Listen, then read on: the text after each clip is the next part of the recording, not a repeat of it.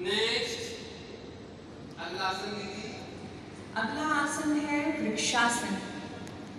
वृक्ष शब्द का अर्थ है पेड़। इस आसन के अभ्यास की अंतिम अवस्था में शारीरिक स्थिति एक पेड़ के आकार की बनती है। इसलिए इस आसन को यह नाम दिया गया है।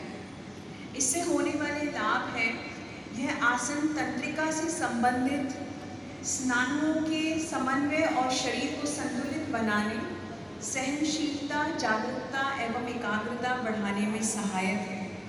इसमें सावधानियाँ, कृपया आर्थराइटिस या चक्कर आने पर इस आसन का अभ्यास ना इसको बोलते हैं पार्वती आसन या ध्रुव आसन, दो नाम से जाना जाता है। कंसंट्रेशन प्योरिटी के लिए बहुत ही हितकारी होता है। इसी का वृक्ष, इसी का इसी का शांति होता है वृक्षासन, पूरक शांति हाथों को ऊपर की ओर खींचेंगे। ओके। पैर के पंजे को पकड़कर फिर जंगल नीचे ले जाया जाता है। इस आसन से संबंधित हमारे जो लाभ है वो है मेरुदंड को लचीला बनाता है गठराग्नि प्रदित करता है मासिक धर्म से संबंधित समस्याओं को भी ये वाला पोज बहुत स्लोली जितना जिससे हो जाए कोई किसी को फॉलो ना करे। इतना भी कर सकते हैं पैर के पंजे के नीचे हाथ का पंजा डाल लेंगे। नेक को ऐसे झुकाएँगे धीरे धीरे श्वासों को लेते उड़ जाएँगे।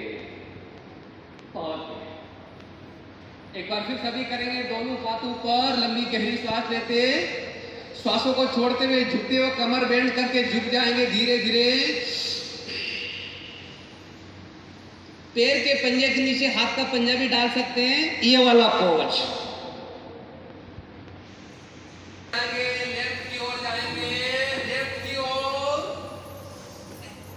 सभी लेफ़्ट हाथ की ओर प्लीज़ राइट की ओर। सभी काम की श्वासों को लेते हुए जाए बस लास्ट आखिरी इसका ढाई तीन फुट की दूरी पैरों के बीच में पंजे पंजे डालेंगे हाथों को ऊपर की ओर खींचेंगे फिर राइट की ओर झुकेंगे ये पोज हाथों को आगे खींचते हुए दोनों हाथों के बीच में नेक होगा, श्वासों को लेते उड़ जाए फिर की तरफ़ भी जाएँगे। कमर को करके झुकेंगे नेक आकाश की ओर बेंड करेंगे.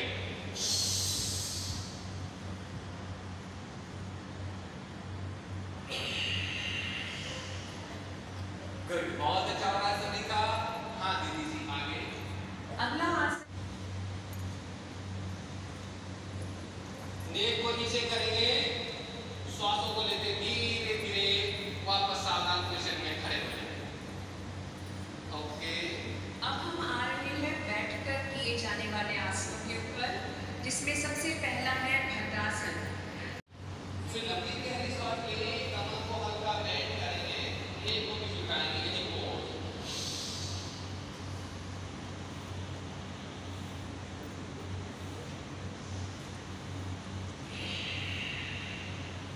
श्वासों को लेते हुए फिर उड़ जाएँगे सावधान पोजीशन में आ जाएँगे वापस एक बार फिर लंबी गहरी श्वास लेंगे ब्रीथ इन पाचन क्रिया संबंधी और हृदय श्वसन संबंधी विकारों के लिए यह अत्यंत लाभदायक है सावधानियाँ हैं कि हृदय रोगी अथवा हड्डियों के मरीजों को यह आसन नहीं करना चाहिए धीरे धीरे धीरे श्वासों को लेते वापस उठ जाएँगे फिर वज्रासन में बैठ जाएँगे वो ज़रूर भी डाला होगा पंपिंग एक्सरसाइज ये पोज पंजम पंजाल घुटने के ऊपर रख लेंगे यही पोज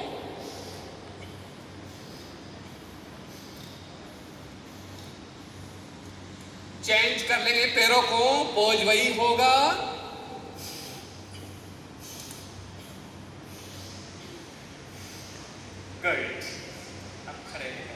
अभी हम योगासन का अभ्यास शुरू करने वाले हैं, जिसमें सबसे पहले आते हैं खड़े होकर किए जाने वाले औरों से से मिलाए और अपनी लगाए ऐसे चला ऐसे किसी को पता नहीं है इसी तरह चलाए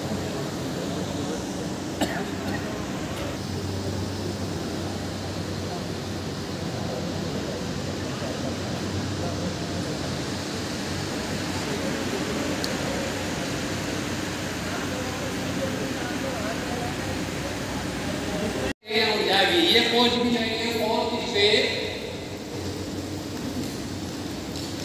फाइव स्टेप हाथों को शोल्डर तक फैलाएँगे सिक्स स्टेप ये पोज जंगल से मारता है दूसरा स्टेप सिंपल